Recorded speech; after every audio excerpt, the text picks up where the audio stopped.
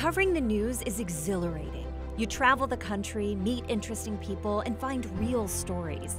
But then one day you realize it's a fing Tuesday in November again. Well, it's election day again. Got it. It's election day again. Because it's. Sorry, I can't. It's election day again. Virginia! As a journalist, I'm honored to be covering this sacred process. Again, I feel super chill about it. I'm good. It's election day again, and we've got another close race on our hands, so you better start clenching those butt cheeks. Early voting is already underway in the Virginia gubernatorial race, with the latest polling showing Democratic Governor Terry McAuliffe effectively in a dead heat. Politico writing if Terry McAuliffe doesn't pull out a win, Democrats are privately predicting a collapse on Capitol Hill. Wait, Virginia could go red? For a state that went blue by 450,000 votes in the last election, this was a story worth keeping down the vomit. I sat down with Geoffrey Skelley from 538 to help me make sense of this. Sorry about the mess elections, am I right? Why is this race in particular so close? Isn't Virginia blue?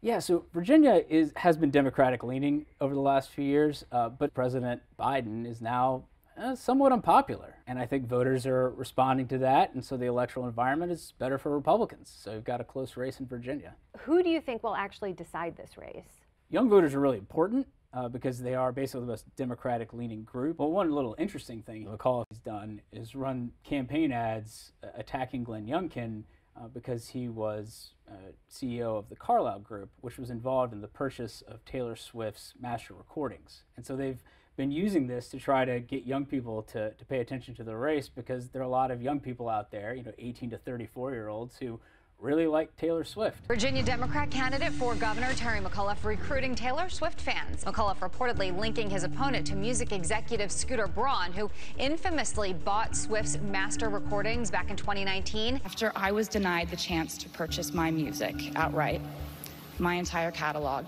was sold to Scooter Braun's Ithaca Holdings in a deal that I'm told was funded by the Carlyle Group. One of the targeted ads reading, did you know that Republican candidate for governor Glenn Youngkin helped buy Taylor Swift's masters out from under her? You gotta be shitting me. Taylor Swift fans vote? I think that's what the McAuliffe campaign is, is hoping. If the Swifties are backing McAuliffe, what group of fans are backing Youngkin? Chet Hanks fans? Chet heads?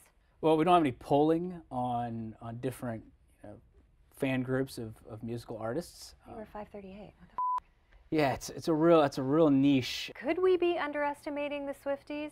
I think I'd be careful about giving them too much weight, but there are a lot of young people who like Taylor Swift. Uh, we know that's true. Could Taylor Swift fans be the key to the Virginia race? To find out, I had to dive deep into their fandom, no matter how many of her albums I had to buy on the show's credit card. Oh, sorry. This just happened to me without my approval or consent. Shame on him. Woo! Woo! Finally, after becoming fluent in all things Taylor, I gathered a group of her fans in Virginia to see how angry they were with candidate Youngkin. Are you all true fans? Are you true Swifties? Did you buy signed Fearless albums, Taylor version? I actually do have it, and I can pull it up. I also have every single Taylor record on vinyl right next to me if we want to go that far. Yeah, the two most important dates in November is November 2nd, which is election day, and November 12th, which is red. Yeah, I'm taking off work for election day just in case the lines are too long. Are you also taking off work for Taylor's release of Red? Oh, 100%. I need to get through all the emotions of all the songs on that album. I'm taking off work and my therapist is not getting the day off. While I respect this generation's clear dedication to mental health, could this new base of voters actually tip the scales in Virginia? I'm originally from Texas, and the last three years in college, I voted in Texas, but I just knew that I couldn't um, just sit by and watch as Youngkin took Virginia. And so that's when I decided to change my voter registration. Wow. Okay, so you just changed your registration. This is dedication. I was in the weird college era as well, where I was kind of voting in my home state.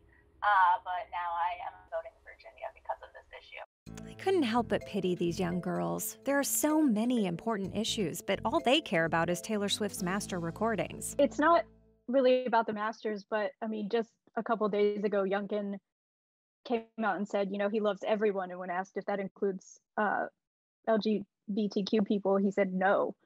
Are there other issues that you care about? Women's right to choose. I'm very passionate about gun violence prevention. Climate change is going to be the biggest issue of our time, so those policies are super important. I'm an environmental engineer, so this is life changing. What would you say to boomers like my Aunt Sheila who say 14 year old girls should stay out of politics and stop stealing my sleeping pills, Desi? I think that's such a weird stereotype of Taylor Swift fans because we're not 14 anymore. We are adults. We pay taxes and we vote. Yeah, do you want to see my thesis paper about con- congressional legislation? Because I can show you that. Don't underestimate Swifties. All right. Take it easy, Molly. Jeez. I don't want any snake comments on my Insta. Yes, they are fans of Taylor Swift, and yes, they are in their 20s. Maybe they can make a difference in this upcoming election. No matter what happens, at least now I'll have some great music to cry to, just in time for next Election Tuesday.